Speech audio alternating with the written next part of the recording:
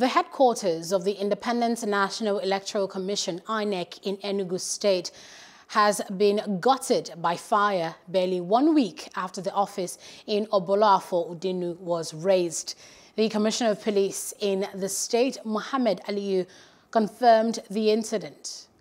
The Enugu State Fire Service, as well as the Federal Fire Service, uh, said they are doing everything possible to put the fire out.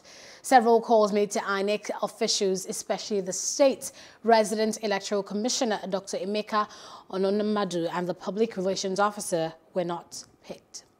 Hello, hope you enjoyed the news. Please do subscribe to our YouTube channel and don't forget to hit the notification button so you get notified about fresh news updates.